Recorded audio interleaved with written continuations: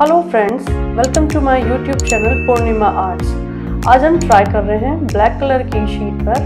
200 GSM sheet है। उसके ऊपर हम आज गॉश कलर से एक वाइल्ड फ्लावर्स के पेंटिंग बना रहे हैं। बहुत इजी है।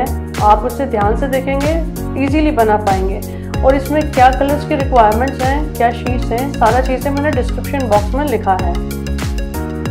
आपको ये वीडियो कैसा लगता है, आप नीचे कमेंट्स बॉक्स में ज़रूर बताइएगा। अभी के लिए आप ये वीडियो एंजॉय करिए और अगर आप किसी और टॉपिक पे वीडियो देखना चाहते हैं तो उसके लिए भी मुझे कमेंट्स बॉक्स में दिखाइए, लिखिएगा तो हम नेक्स्ट बार वो उस टॉपिक पे वीडियो बनाएँगे। So let's enjoy the video और थिंग टू से अगर आपने मेरा चैनल सब्सक्राइब नहीं किया है तो आप मेरा चैनल सब्सक्राइब करें और बेल आइकन दबाएँ ताकि नेक्स्ट वीडियो की जानकारी आपको तुरंत मिल सके। Thank you